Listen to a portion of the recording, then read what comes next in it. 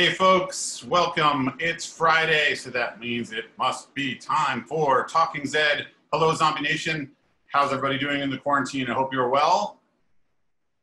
Three months on the couch, and today I got to work on a main title sequence for a feature film. And three months on the couch prepared me for nothing. The body is aching. And I'm also sad to say, folks, three months into the quarantine, this is actually my real hair. Not not joking. We got rid of all the uh, all of the uh, blonde in the hair, so I get to uh, present to you my quarantine hair for your approval. But hey, you didn't come in to hear about my hair. You came in here to talk to somebody from Z Nation. He's been on before. Um, he was so popular, we have him back, skyping in, zooming in, into the Zoom all the way from Utah. Please welcome to Talking Zed. It's Alex Yellen. Hey guys. Hey, Alex, how are you? I'm doing well. How are you? I'm good. So you're in Utah. You're working on a film, as you always seem to be doing. You are the second hardest working man in showbiz. Tell us what you're up to. Uh, behind James Brown, of course. Uh, and uh, what, what are you working on? And uh, tell us about about how things are going for you up out in Utah. Well, I can't I can't tell you too much about what I'm doing doing at the moment. Uh, I will say that it's a uh, it's a project that uh, we're experimenting with all these new uh, COVID safe protocols, okay. and uh, I'm quarantining with uh, with a cat with a crew and a cast, and hopefully uh, we'll make something cool and fun, and uh, I'll be able to tell you about it a few episodes from now. Fantastic. And, and you've been out there for a while to, to quarantine everybody. I mean, where, what are you guys in the process? Don't tell me the name of the film, but where are you in the, how, how are things going in the, in the process so far? Uh, we're still in pre-production. Um, everybody uh, was tested before they came into, uh, voluntarily tested before they came into the hotel. Uh, they were quarantined in their room until their test was negative, and one, then they're allowed to uh, begin attending meetings and doing prep work and uh, and scouting around for the locations. Most of the film is being filmed on site. Um, and uh, we're still wearing masks and sanitizing everything and maintaining social distance. It's a very small cast and crew, and the script has been written to accommodate that. Uh, and our only point of contact with the outside world really is uh, food delivery. Right on. Um, and um, last time we had nothing to do with the pandemic. It's a totally normal story, but we're using all this, all the best safe, best practices for safety and uh, health. Right on. Um, and it's um, it's nothing mega creature related or any kind of zombie related. It is not. It's a it's a normal drama, normal-ish drama, as normal as we can make it. So last time you were on the show, we were talking about your work at Asylum and how that led to working as a DP on Z Nation. Um, and you've done uh, 45, 50, 100. How many films did you do for the Asylum? I think I think it ended up being 40. 40. It was like 40 on the dot. 40, all right.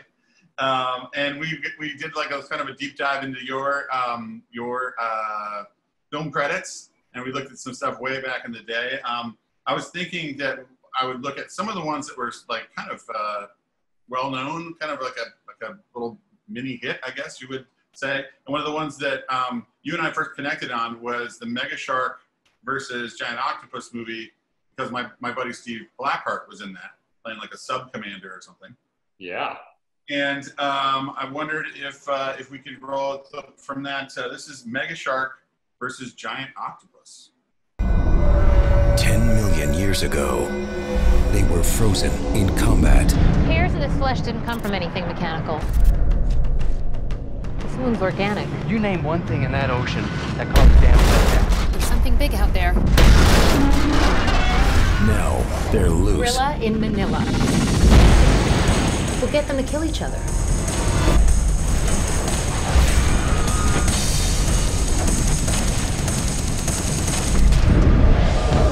It rises.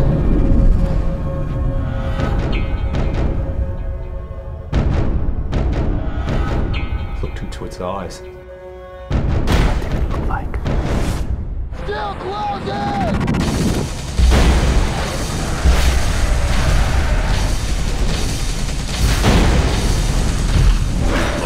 Lorenzo Lamas, Deborah Gibson, We're dealing with a menace. Mega Shark versus Giant Octopus. Holy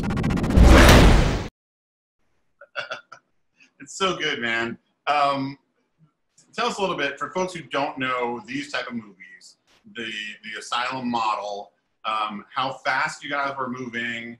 Uh, you shoot a whole feature in how many days? How many how many days of prep, shooting, and, and a guest post to, to come up with a completed film?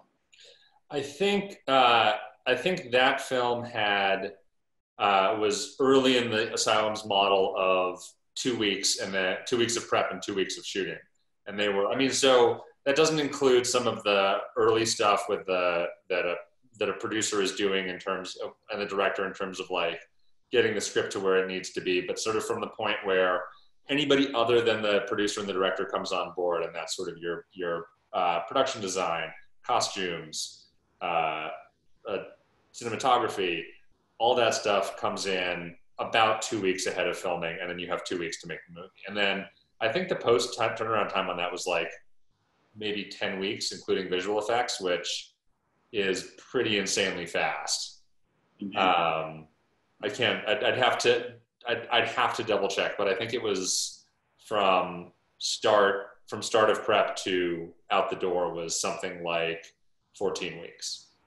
And at this point, how many of these type of movies had you done personally? Have, have you DP'd? Uh, and I think that was my, well, let's see, um, fourth or fifth. I think that was my fifth movie at that point. So I had done Universal Soldiers, I Am Omega, 100 Million BC, Street Racer. So I think it was the fifth one. Um, and, and I said it was a bit of a hit for Asylum. Um, that sequence of the giant shark eating the Golden Gate Bridge was very iconic and was seen a lot. I think it was even on one of the posters, maybe the Japanese poster. I mean, it was an answer. Mega Shark versus Giant Octopus was an answer to a Jeopardy question. I feel like that's how you know you've made it as a sort of pop culture. It's like that, or they talk about you on NPR. but, uh, yeah, no, it, and it was a, it was sort of a surprise hit because it was a very uh, inexpensive movie to make, and uh, it, it kicked off sort of it sort of rebooted two genres, the uh, the shark genre that had sort of slumped a bit, and sort of in the wake of uh, Mega Shark, not only did it breed, I think, three sequels, but I think in the wake of that, you got all of these other like mashup shark movies. It was Sharktopus, Dino Shark, uh, you know, Avalanche Shark Attack, three, you know, two-headed shark. Uh, all these like, I mean, Sci-Fi Channel did their own Shark Week based on just giant shark monster movies that uh, Mega Shark kind of rebooted that genre. And then the versus genre, which is like, let's just take two, the two most ridiculous giant things we can think of, and we'll have them fight, and that'll be the movie.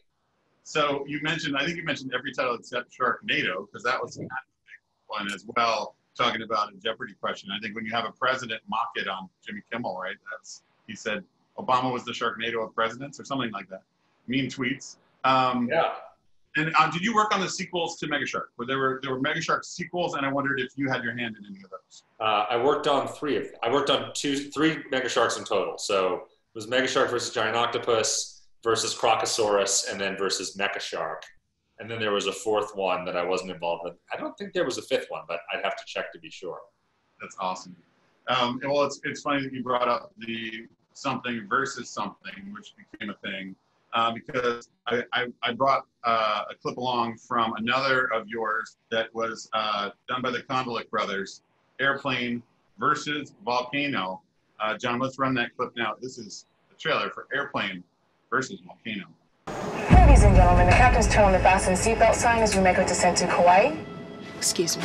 We're actually preparing to land. Do you mind bringing your seat forward? I think a submerged volcanic shelf has surfaced. Joseph? We may be experiencing some technical difficulties. Radio's malfunctioning.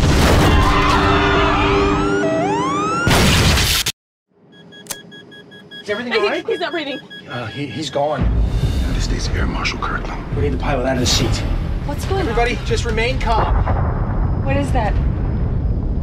Oh my god. That's a volcano! Mayday, mayday. This is flight 7389 requesting immediate emergency assistance. Only a matter of time before this thing rises and it's big. Get everyone inside now! Everyone must evacuate the beach. What are you doing? Can you fly this thing? Hang on! Those people will die up there if you don't do something. Then they're deadly in the! We are gonna face this thing head on.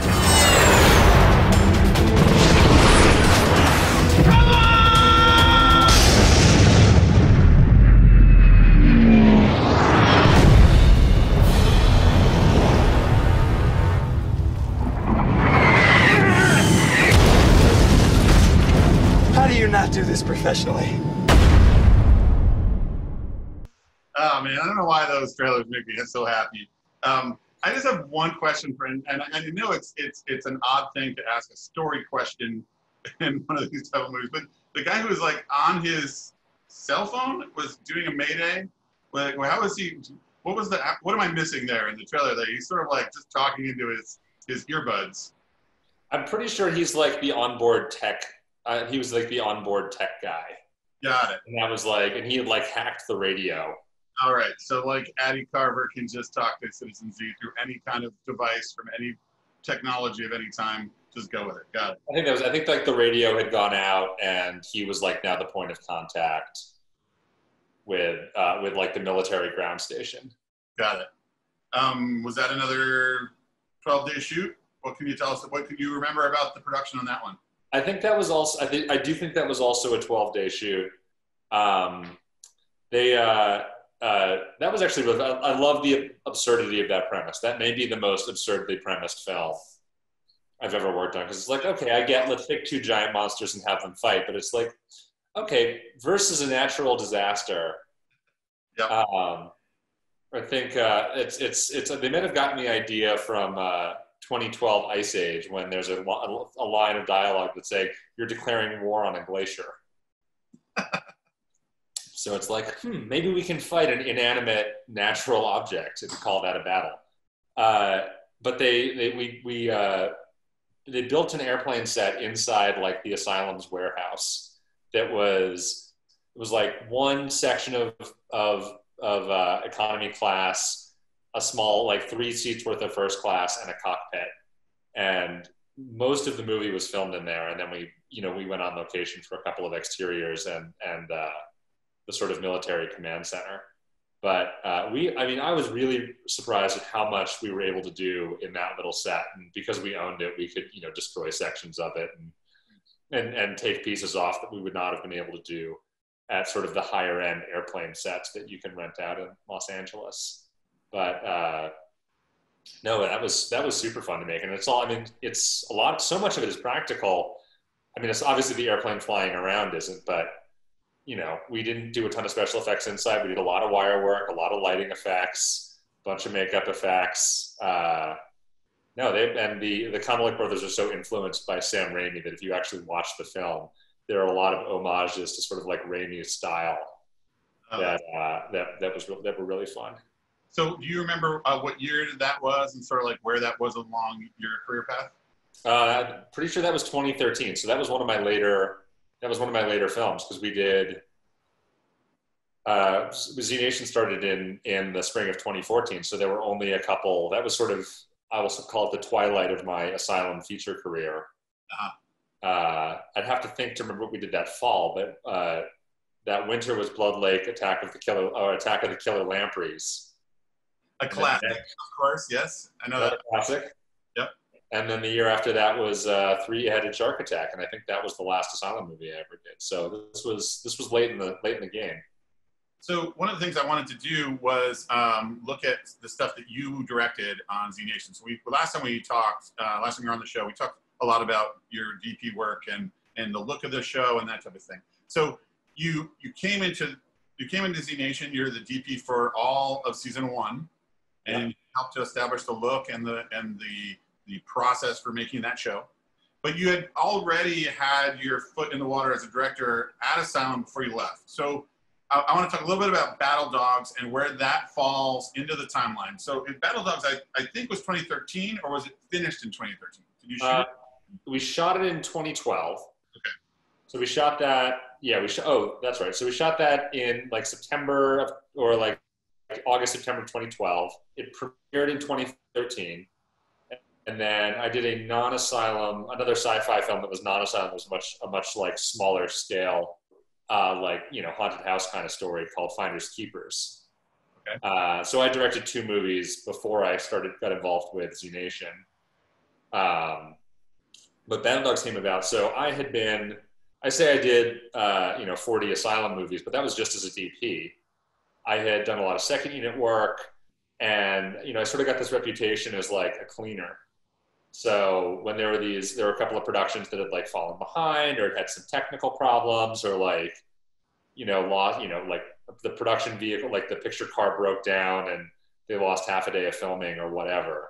So they, you know, it's like we'll we'll get a camera and bring in Alex with, you know, we'll give him like an AC, PA, and like a couple of extras and like go out and make something like just like fill in the gaps. Right right. Uh, and so i got kind of a reputation for just directing these you know splinter unit sequences that like you know a lot of the stuff wound up in the, in the trailers for these things and uh, they were like well you, you know you, you've done this well why don't you just direct one of these movies? And so there were they there were a couple where the you know the scheduling didn't quite line up or like you know the project wasn't quite a wasn't quite the right fit um, and then Battle Dog, the opportunity to direct Battle Dogs came around, and that really like uh, I really connected with that script and the concept. And uh, we were, you know, we they found a, an airport. Everything was built around the airport, even though it's a very small part of the film. But like being able to film the the opening sequence of that in an airport was like so central to where we filmed it. Uh, we filmed it in Buffalo, and they were so excited to to have us there. They still talk about Battle Dogs as like the film that kicked off the Buffalo film, like the Buffalo film renaissance. Wow. And now they're like, you know, now they're doing, because there hadn't been anything in Buffalo for years. And now they're doing, you know, Quiet Place 2 there. So, so I'm going to back up just a little bit. So you are shooting Splinter units. You're the cleanup guy.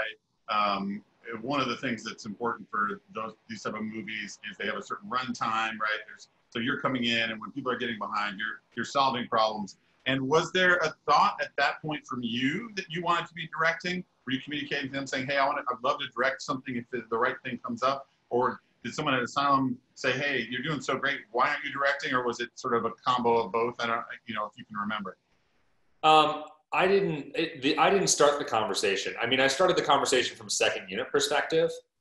It was just, and it wasn't a. It, I didn't frame it as, "Look, directing is my passion." It was, "Hey, look, I think I do. I think I could really help out, like be helpful, and you know, clean up some of these scenes." And even on you know shows where I was still the DP, there were sets where I would light the set and talk about the uh, you know, the camera work with the operator and the director, and we'd rehearse it once, and then go through the coverage. And I'd tell, you know, I'd give instructions for the for to the gaffer and the operator, and then I would just go off and do second unit while you know take the camera and go do second unit stuff while main unit was filming. Because sometimes, you know, when you have to do, you know, 15 or 16 pages in a day, and there's action and there's a bunch of extras, sometimes you just don't have time if you're all working in the same space at the same time to knock off that much material.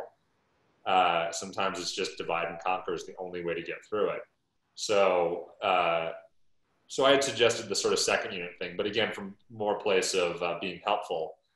And uh, they, could I mean, they sort of approached me initially about taking these sort of cleaner, cleaner roles, and then about uh, directing. And I mean, I, I jumped at the opportunity but uh, you know, it's it's it fell into my lap a little bit, and I think every every like aspiring director out there is probably really upset hearing that that it was like, oh, you you you're the guy who didn't spend his entire life like working at being a director. Uh, I mean, in some level, I did because there's a lot of directing skills involved in being a DP.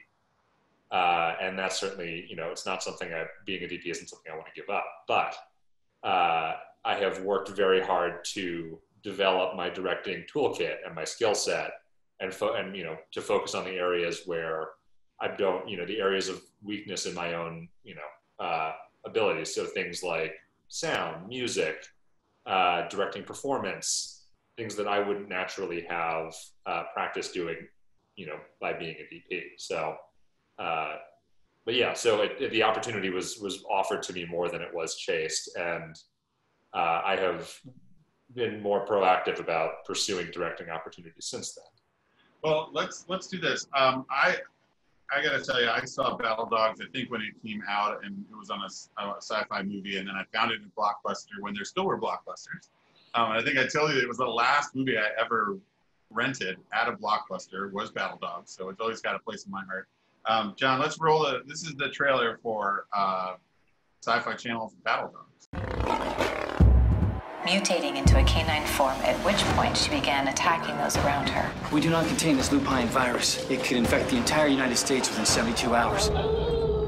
Let's see what these things can do.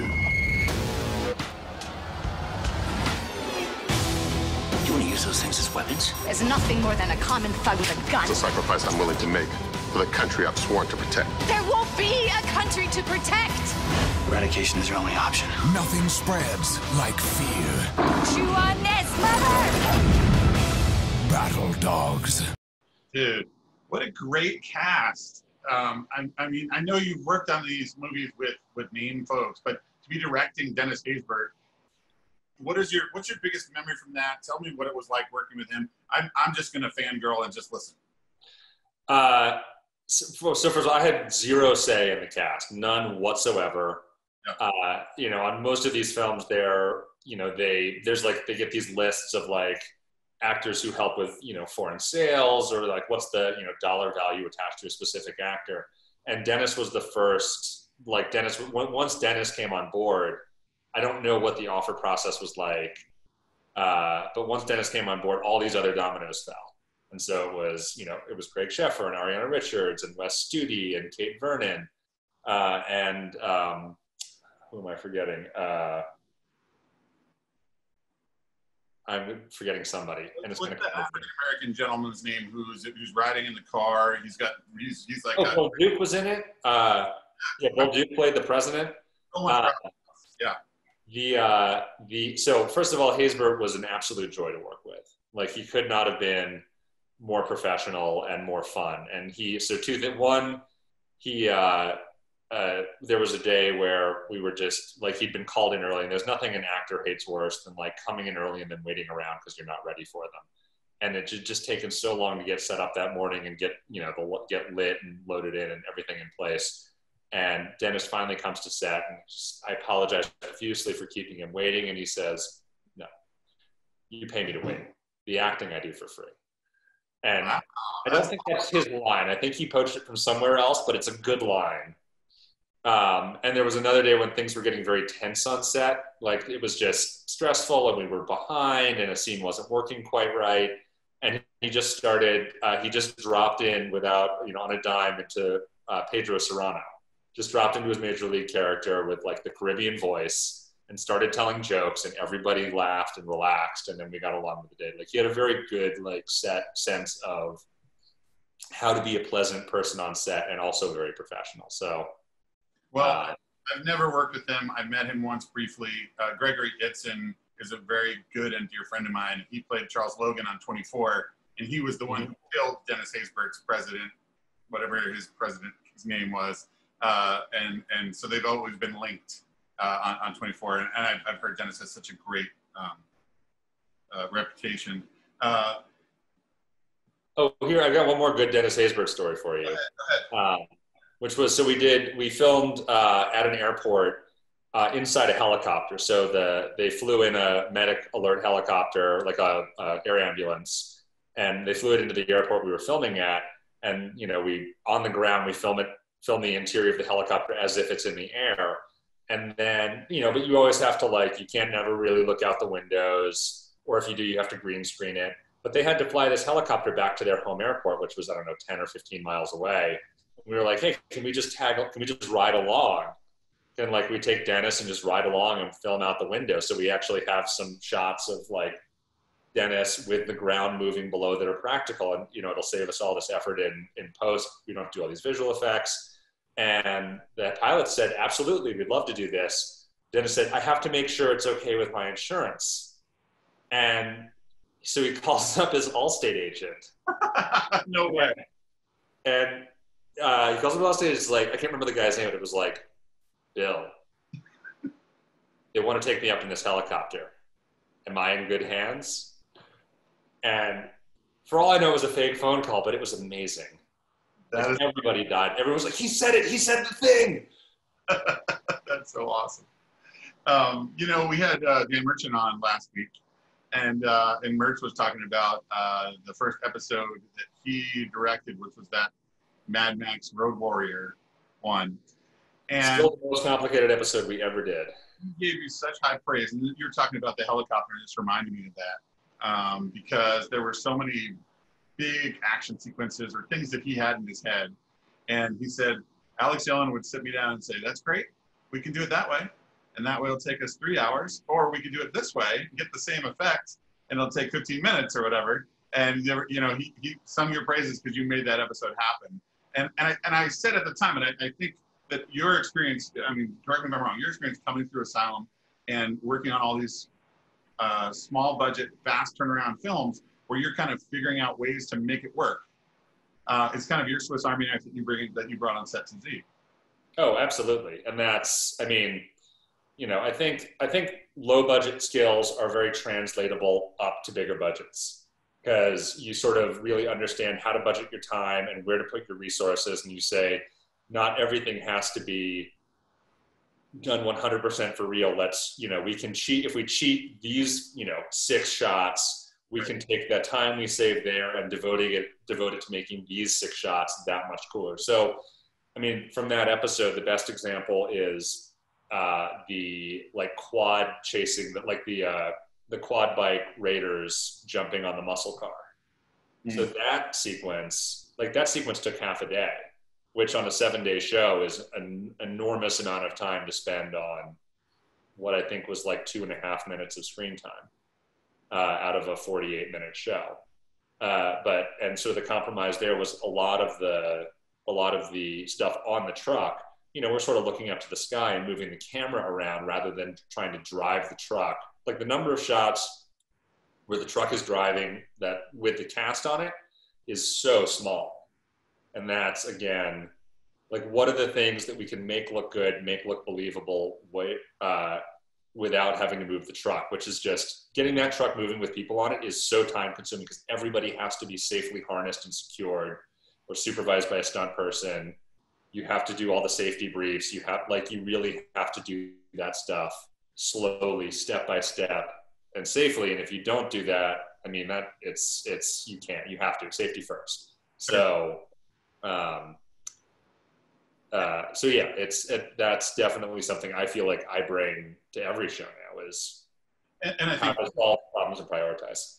on that episode, I was noticing too, you know, if you don't get your shot and you've moved all these vehicles, it's a caravan of vehicles, then you got to back them all up and all the time it takes to do that, right? Safely and correctly and uh, blah, blah, blah. I mean, it's just, it, it it's a, um, I, I was watching exactly what you said. How many shots were low, low angle up to the sky, shaking the camera so they could, you know, move around on that vehicle when I was assuming it was actually steady and Right. You. I mean, look. You tie it into a cut, just some nice wide shots of the of every of the cast and all the vehicles driving along, and it's totally believable. I mean, Michael Bay does the same thing. If you watch his car, like the car interior shots from all of his movies, you will not. You don't see anything moving outside. It's the windows are whited out.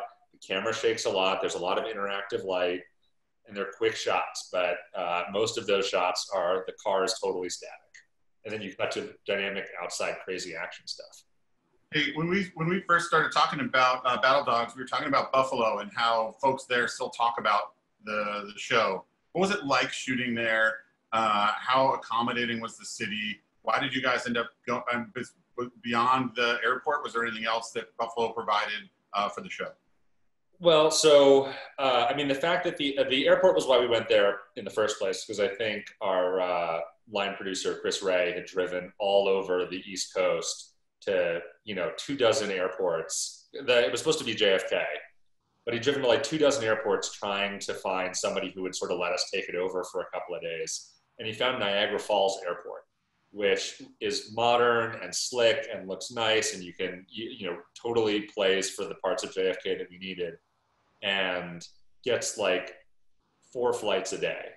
And they're like, we're willing to divert passengers to this you know auxiliary baggage claim and like you know we'll block out just a couple of check-in stalls at the far end which like will direct traffic around your filming and really make it work for you uh, and so everything else we're like okay we got that we'll make everything else work. But buffalo has a great downtown and they got some of some of some architecture that's very evocative of new york city. Um, i think one of the sharknado movies did some new york city stuff there also.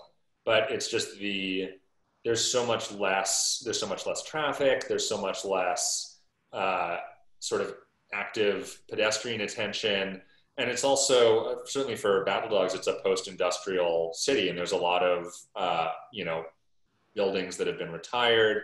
So we filmed in their train station uh, that has been completely decommissioned but you know sort of had that grand central station kind of architecture.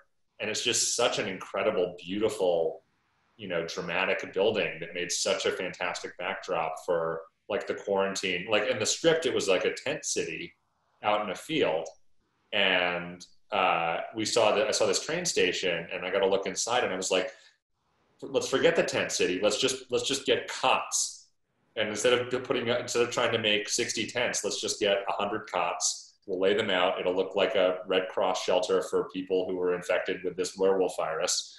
And uh, we'll do that. And it looked, in my opinion, so much better than what we would have been able to achieve with with tents. And and Buffalo gave us, I mean, they were so happy to have us there. They really gave us access to a lot of things like public services. I mean, for, in our, for the cost of our like sort of location sort of uh, permit fees, and we were able, they were willing to, you know, close, you know, direct traffic around one of the bridges we wanted to film on we were able to use the command center, like the command center at the police station.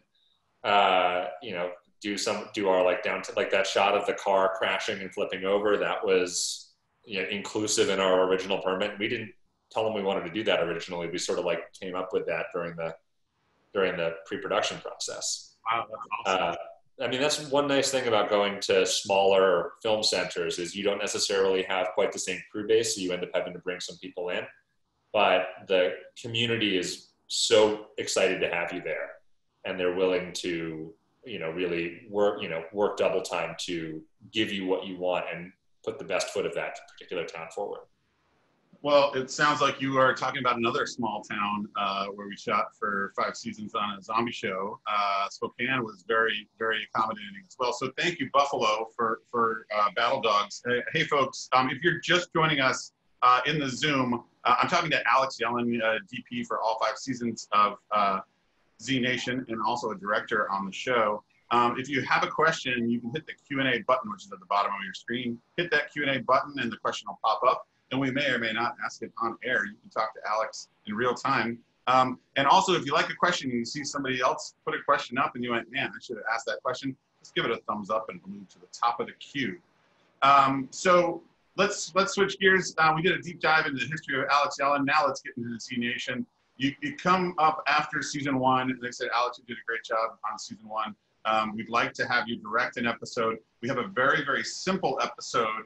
It's just going to be two people talking in a room, just dramatic lighting, uh, you know, uh, and, and, and, and you're like, I will take it.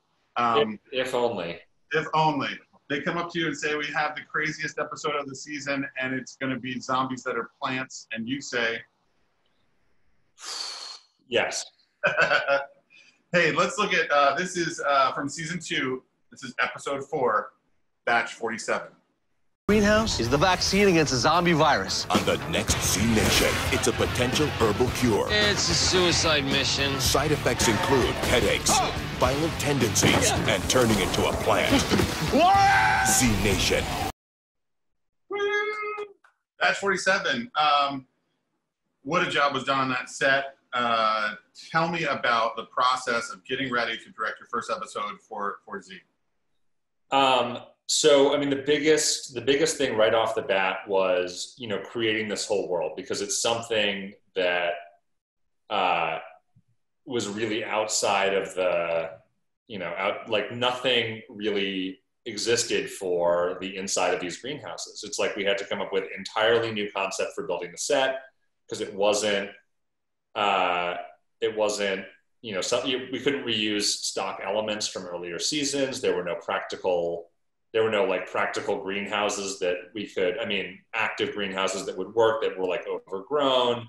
Uh, and, you know, we'd never done plant zombies before. So it's inventing a whole new visual world uh, to film in. And we had many conversations about how to do this. Uh, and also, it was, even though it's the fourth episode, it was the second episode we filmed uh, when, when, when uh, the season started. We did the pilot um, and also because uh, John Hyams was directing episodes one and two, and because the episode three, which Merchant directed, the wagon train episode was so big and needed time, uh, it worked out well that I could direct uh, episode four between one and two, and then the sequence just continued from there. Uh, but so we started those meetings about how are we going to make this thing a reality, you know, weeks and weeks and weeks before we ever got to Spokane. And there were a lot of different ideas about can we do CGI and, um, you know, how much can we do practically and what department? I mean, I think the biggest challenge was just which department was going to be responsible for making vines. Uh-huh. And, uh, you know, it was like, well, they're attached to actors, so it's costume, but they're, you know, it's not traditional costume, so it's makeup, but there's also set stuff, so that's art but they have to like pull people, so that stunts. Uh, I think the interdepartmental collaboration that was required was uh, unlike almost any other episode we did for the entire run of the series. Um, but we had some really cool concept art that one of our visual effects uh, wizards, a guy named Casey Sargent, did for us, and that really got the ball rolling.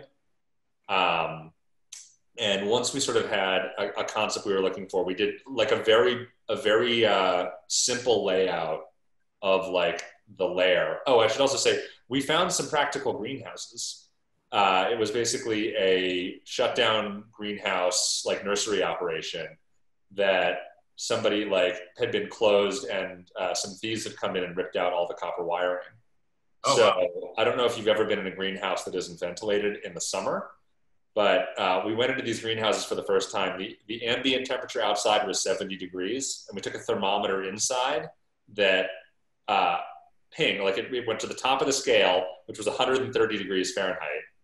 And so it was hotter than that. So it was above 130 inside when we when we first saw it. It was like, okay, we cannot subject yeah. through, especially if somebody's wearing a creature suit.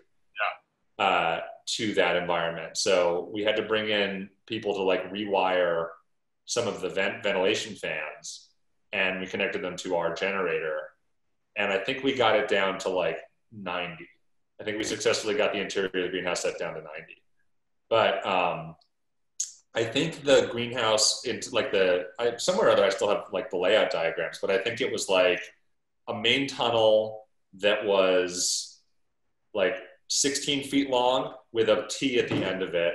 And then there was a second room then like the throne room with the big phyto zombie was the batch 47 zombie was behind it. And everything was just like let's just make one really cool uh, let's make one really cool hallway that's really overgrown and put a couple of like flats in that we can use as turns so they can sort of twist and wind their way and we'll film it from different angles and just make it feel like this maze and that's you know really a really focused, limited set that we can do really well. And I mean, they really delivered. I think the way they ended up making the vines was taking like black plastic, like plastic sheeting, twisting it and hitting it with a heat gun and then stretching it out and then like spray painting it green. I think that's what the majority of the vines were made of. So watching that episode, not knowing that, it felt like there was practical, actual vines mixed in with the mixed in with was there were there some real things kind of in your foreground? Uh, oh, yeah. Okay. There's there's actually very very little CG in the greenhouse. Almost all of the almost all of the set, almost all of the foliage is practical. Well, we have a we have a clip. We have a a, a large uh, sequence, a sneak peek from this episode. And John, can you uh, run that clip for a second?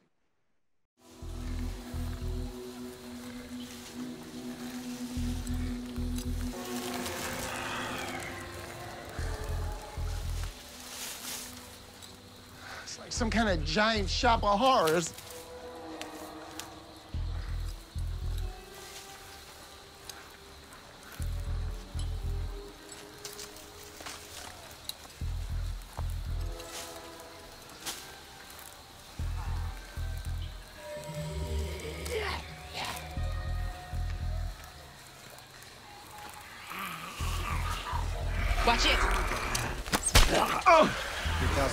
3,216. Hey, you should be dead. That won't work here. They're all interconnected by the vines. You can't kill one without killing all of them.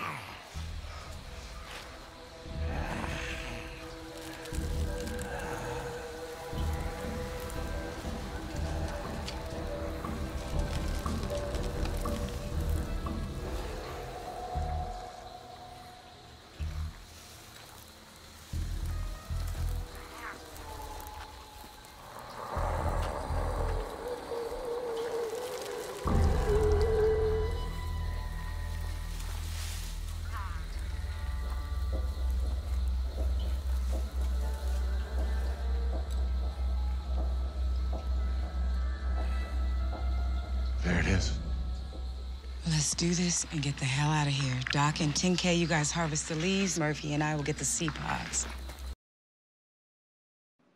That's so good. It feels so real and, and, and gross and disgusting. Um, you know, we've had a couple people jump into the, the, the, uh, the chat room. Uh, there's, there's a gentleman named Karl. I'm, I'm not sure if I get the last name right. Schaefer. Is that right? And, and he was asking, where did you guys get your Z-weed? And is there any left over? So, I mean, the person with all the Z-weed is Russell is Russell Hodgkinson. He is so the whole the whole premise behind that episode, and, and it started uh, in the episode before, was this idea of of marijuana that's grown in zombie compost, and that's like this the the greenhouses are really just a a massive weed uh, weed uh, growing operation, and that the scientist running the place uh, has also tried to make a cure, sort of as a side project. Uh, but Russell took the the Z weed thing and like developed it into a brand. That's and I mean, like his like his T-shirt at the conventions is is Z weed, and that's like very much. I think at one point he was like partnering with a with a Washington State marijuana business to like release a Z weed, uh, like release Z weed as a strain into the like general uh, into the market. But I'm not sure exactly if that ever happened. That is Uh, so, so if you want the Z weed, call Russell because he's the one who's going to have it. Well, I've, I've heard from some fans that uh, Doc is one of those guys that we should probably get onto onto the Talking Zed. Um, I, we have somebody from uh, from Spokane zooming in. Uh, Matt Davidson's asking, "Hey, Alex, uh, can you speak about your experience and challenges filming the Find Murphy interactive online game, especially the camera rig?" So, first of all, I, I, I'll acknowledge Matt Davidson, who is in that episode. Although we did we we very we brushed past him in that clip. He was in the background. Matt is one of our most accomplished zombies. Uh, actually, no, I'm going to say most accomplished zombies. Uh, he went from uh, like perfect zombie extra to uh, full fledged cast member by the time we got to season end of season three. I think was uh, he joined the he joined the cast proper. Um, but uh, so yes, for for season two, we did a, a special promotional interactive game that was supposed to be first person. And so to do these kinds of first person things, you'll see, you know, there there are some pretty intense rigs out there, but it's like, okay, let's do ours the Z Nation way. So we literally took a, a DSLR, it was a Sony A7S, which we had been experimenting with because it's very, very uh, sensitive in low light. It really performs well when there's almost no light. So there, you know, there are short films out there that were shot under just under moonlight that looked like they were shot during the daytime.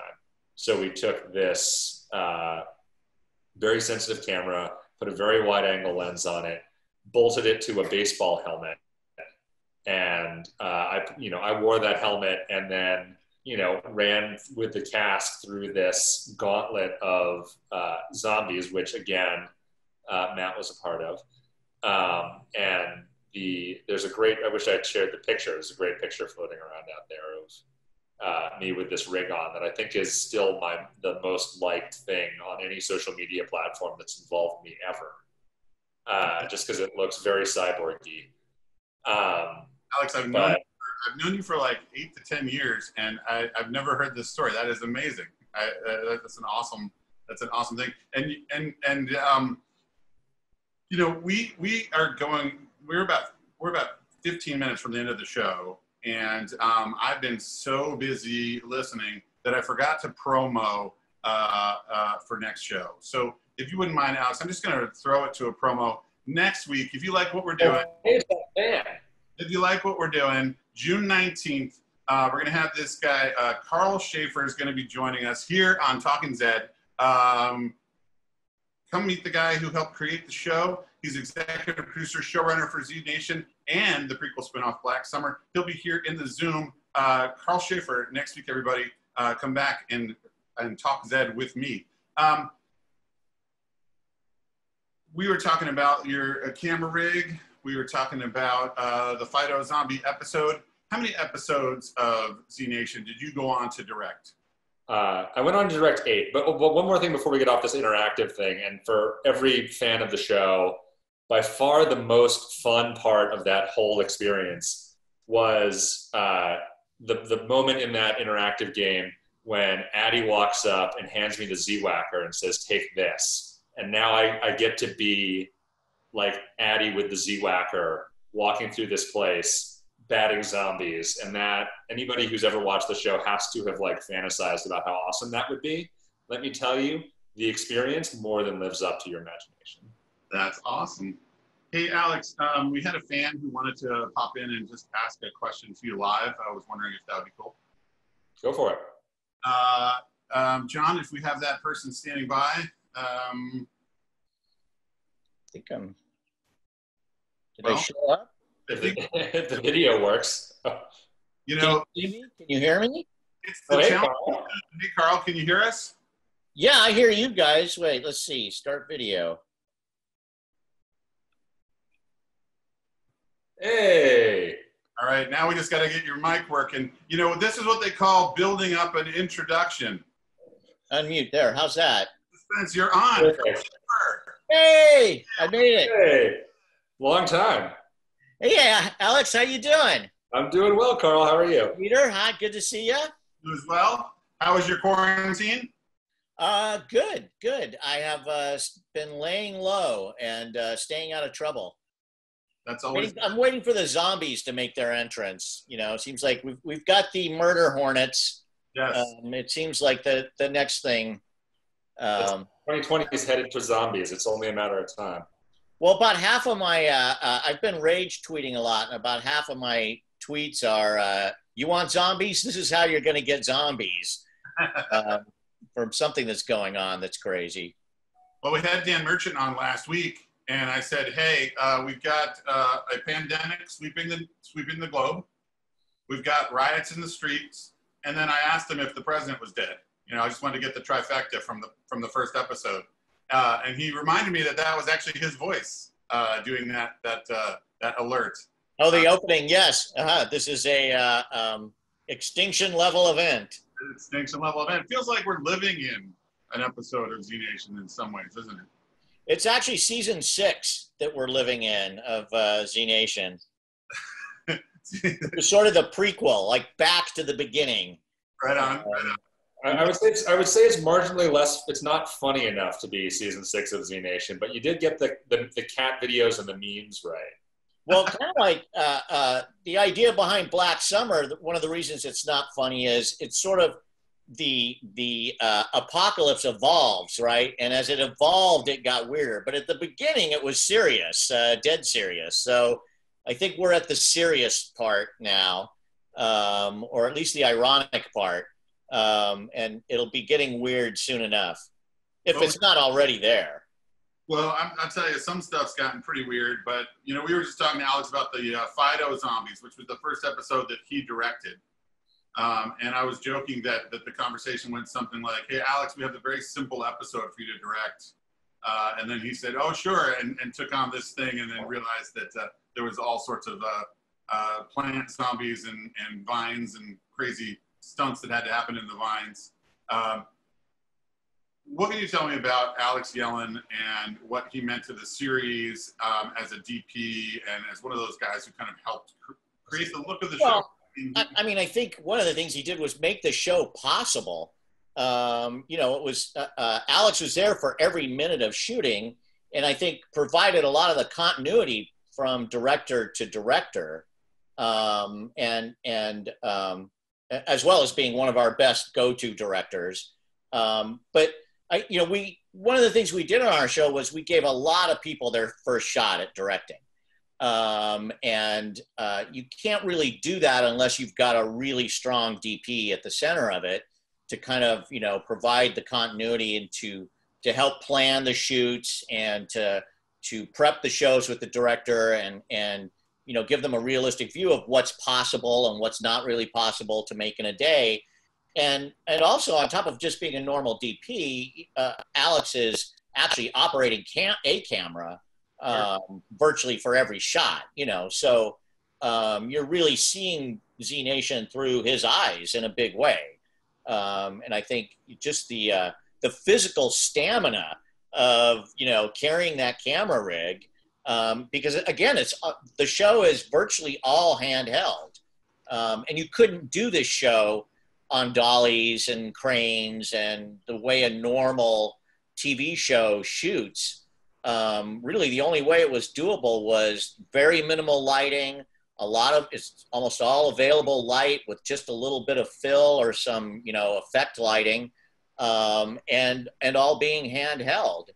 Um, so you know you're you're seeing it literally through his physicality in his eyes, and and um, you know when we'd bring in another DP to shoot his days, you'd see about halfway through they're sitting on an apple box shooting a lot of this stuff because it's it was just physically daunting to do, you know. Um, and and I think a real uh, um, an amazing accomplishment, uh, frankly. I will say though, all that running around does keep you does keep you in shape, and it keeps you feeling young. You get to the end of the day, and you like you feel like you earned your paycheck that day. So. Oh yeah, you. I mean, you were you were like, you'd come in always like first at the beginning of the season. You're you know you're like 15 pounds up from the last time we've seen you. You know, clean cut and everything. By the end of the season, you're like this ripped guy that's you know uh, with a big beard and and um, sunburned, you know, uh, unbelievably sunburned. Uh, it was. I, I, did, I, do the apocalypse beard before it was fashionable.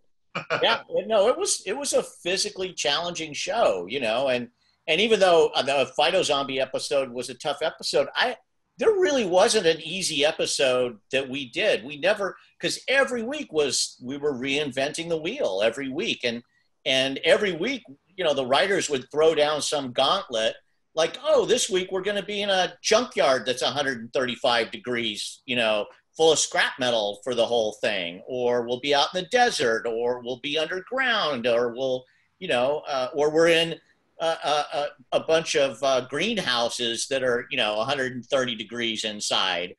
Um, you know, it was always uh, the crew would be about this far from mutinying, but they wouldn't because they could see, particularly once they got to see episodes, they could see how much that meant to how good the episode would come out. And they felt like they were a part of something special and they were willing to, you know, jump in and uh, sort of, you know, deal with the, the difficulties of every episode uh, just just because they were survivors, you know, in a way. Uh, I think that's how they took it. Well, I think that's so true, Karl, because like being on the set and, and, being around these folks, people really cared about what they were doing. I mean, you could you could sense it being being part of the crew and, in the limited capacity that I was at. Um, and I do want to I do want to talk to you uh, about that uh, that camera rig that we always saw Alex with the uh, with the with the with the camera. Merchant was on last week and mentioned uh, that I should remind Alex that whenever uh, he wanted to mess with them, he would he would have Alex hold up the camera, which is about 60 pounds, and he'd be flexing like this, and then Dan would say, "Oh wait, wait, just one more thing," and walk over to an actor to give one more, you know, one more tweak just to mess with right. him. But can you speak to? Uh, I, I, think people we were talking about with the asylum how fast they shoot. How, how fast was Z Nation put together. Uh, when, a, a, typical episode, I know that it was longer in the beginning, and then when you got toward the end of uh, four and five, uh, it was a truncated shoot schedule. How fast was one episode shot for the show? Well, generally we had five day episodes, um, but there was a couple of tricks that we used because, and and that's that's an hour drama. Most hour dramas shoot in seven days would be a low budget show. Eight or nine days is kind of typical now You know, there was I saw an episode of uh, um, Better Call Saul the other day, which was no bigger than any of our normal episodes, and they shot 19 days uh, for a single episode of TV. And I'm going, what on earth were you doing all that time? We generally the bulk of our episodes were shot in five days, but it was um, a couple of things that we did was one, all the directors were from within the series. So on a typical show, a director comes from the outside. They show up a week early. They get five days of prep, you know, and then a, a, week of prep, a week of shooting, and a week of post, and then they go away. Um, but our shows were so complicated and such tricky little pieces. We would use directors from within the show, like Alex, you know, like uh, um, Jason McKee, our visual effects supervisor, uh, like Dan Merchant, who's like our, you know, post supervisor and producer um, and director, who were they were around for the whole season, so that we could break up the prepping of a show. And a lot of times, these guys were also uh, um, uh, writers of their episodes, so they're really prepping the episode from the time they're writing and thinking about it and knowing where they're going to shoot everything. And then we would break the episodes up so yes, they would shoot the bulk of the episode in their five days, but then they had second unit days. You know, they would get a day or two of second unit that would be picked up here and there um, because they're still on the show and working um, to do it. But it was still really challenging to, you know, do it in five 12 hour days with essentially no overtime um, and a very small crew. And, and it was because uh, you know, because of people like Alex that we were shooting so fast and so light, we, you know, we carried a very small lighting package. We carried very few lights. We didn't spend, the actors would always be shocked when we'd bring an actor on the show. I remember Emilio Rivera, who's fantastic from, you know, Sons of Anarchy and, and uh, um, has a million credits. And, and he had said he had never shot anywhere so fast. He was shocked because they show up and the normal thing you do is you know the actors come on set you rehearse with them for 15 20 minutes and then they go away for 45 minutes eh, back into makeup and, and hang out while the, the camera crew is lighting and stuff but on our show it'd be like the actors would show up we'd block the action like really quickly once with them and then we would start rolling we would be shooting you know the first rehearsal and they're going, wait, wait, you're shooting already? You know, and like, yeah, actually, that we that we printed that first one. Here goes take two, you know, and and um, just keeping it moving that fast and and being very nimble and and I think Alex can speak to the fact that we gave the directors a lot of leeway and how they shot things and and how to stay on schedule and and um, you know uh, most TV series now, you get a big thick binder as a director when you show up the first day that has the style of the show, and they, you know, you need to get a a, a, a wide master, uh, uh, a you know a single and a two shot of every single character uh, in every single scene, so that the you know the writer producers can edit it later any way they want. And you know, we basically would be like, get it in a oneer and get the heck out of there you know, um, and and that that sort of forced a lot of creativity um, on the set and, and encouraged the directors to do really creative, interesting things and to just get it in a single shot or um, and to be very cinematic about it. Well, Karl, one of the things that I've always thought about um, Alex on the show, because I knew him years ago as a DP who did a film for me, is uh, somebody who who really would get this type of a show, and obviously he he was a voice from the beginning. You know, he has the distinction of being the director of the final episode of the show. Yes, that's not an accident. yeah, and and you know, I wanted to show a clip from that episode. Uh, I don't want to get too too to bring us too down, but uh, it, it's called uh, season five, episode thirteen. This is the end of everything. No prisoners. Charge. Fire! Fire! Fire! What was it you wanted to tell me?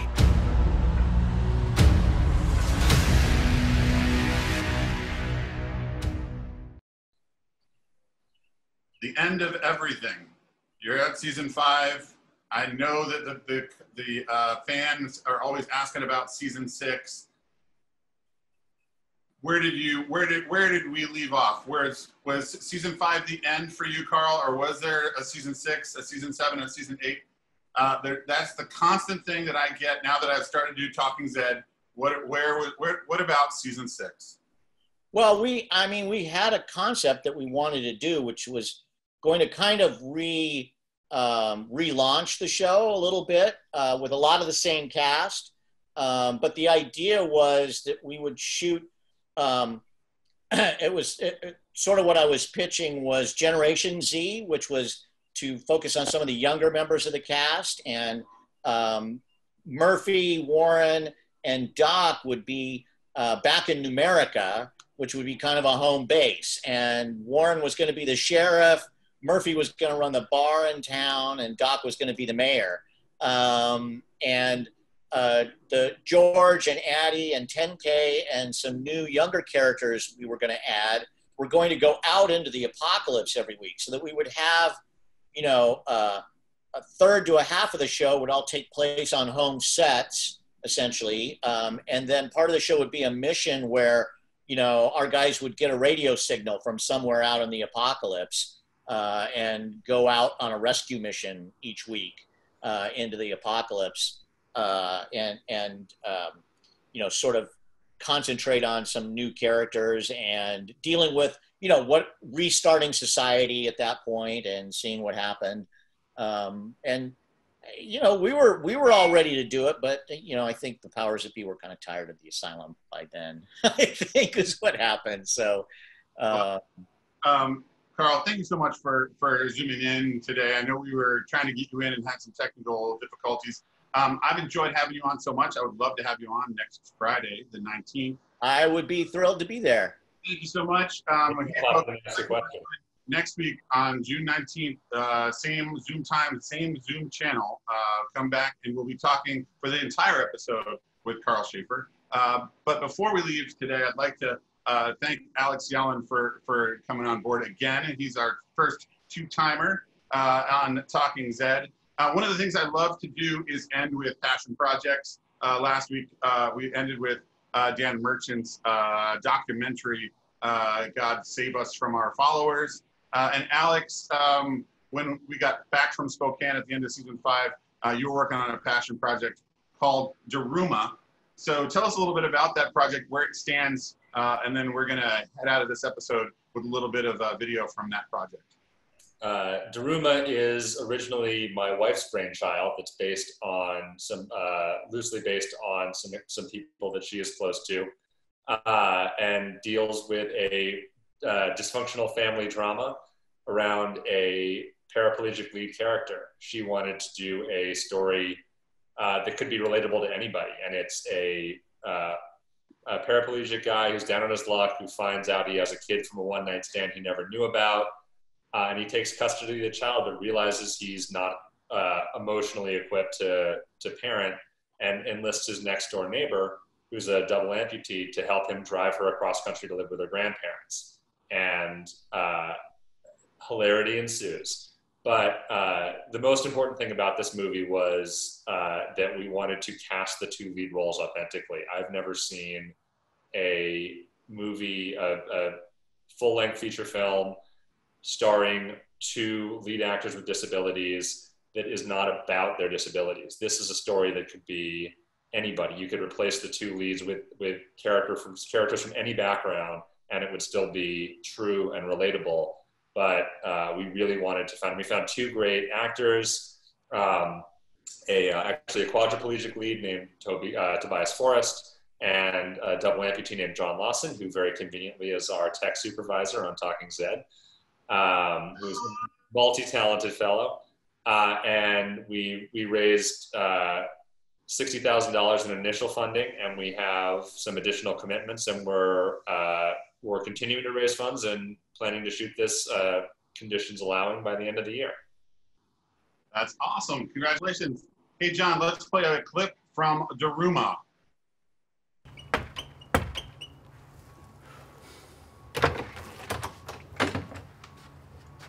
What do you want? Hi, my name is Kelly McNeil, and I'm the writer producer of Daruma. And I'm Alexander Yellen. And I'm the director of Daruma. Daruma is a dark comedy that features lead actors with disabilities. Go on, my name is Tobias Toby Forrest, and I am an actor who plays Patrick. Hi, my name is John Lawson, and I play Robert. This project's extremely different from other projects I've worked on because the two main characters happen to have disabilities, and the two main actors who play those characters also have disabilities. I was inspired to tell the story because of a tragedy that impacted my own family. People loved the idea, they thought, what a great idea.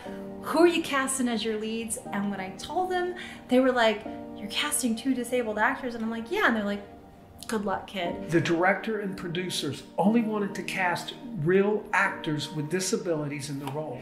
I had no idea what was out there. I've not seen uh, authentically cast roles before, certainly not with the depth that this script calls for. And just the process of looking for actors has been incredibly eye opening and incredibly gratifying. There's less than 2% of characters in film and television with disabilities. Out of those 2% of all the films and television shows, 95% of those roles are done by able bodied actors. This is what the disabled film community has been talking about for years. This is an opportunity. This is a chance. This is a chance to change things. It's my first opportunity to have a starring role in a film, and for an actor with a disability, that is so rare. Being able to portray a character as a double amputee that has nothing to do with being a double amputee. If movies like this, who are willing to take a chance and employ actors with disabilities, if that can be done, then hopefully huge budget movies can do the same exact thing. You will not find a more committed and dedicated group of people working towards the success of this cause. And what we really need is your help to do it. The way a Daruma doll works is when you get one, you make a wish and you color in one eye. When the wish comes true, you color in the other eye. So we're making a wish to you. We are going to color in the eye of a Daruma doll, and we're wishing that we get full funding for this film. When we get a green light, we're going to color in that other eye. All contributions to Daruma are tax deductible. We need you to help us make this movie.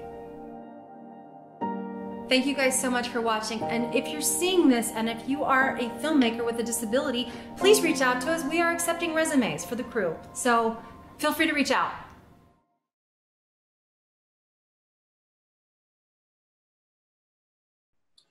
Well, thanks, guys. Um, I appreciate it. Karl, thanks for zooming in. Um, I think we still achieved what we wanted to do, which was surprise. Yeah, thank, no, thank you. Sorry, it was a little late, but I got there. No worries, my friend. We'll have you on next week and we'll talk in depth. Um, thank you so much. I really appreciate it. Alex, thank you again. You are uh, a fantastic friend and thanks for, you kicked off the first episode. And like I said, you're our first repeat uh, guest. So thank you for doing that. Good luck on your film in Utah, Karl. He's he's working already. He's in Utah working. I, he's always working. Always he's working. always doing something. All right, and hey, you, check your email for the uh, for the after party information. Um, John should have sent it your way. We'll we'll connect in the Zoom after this. Thanks for watching, everybody.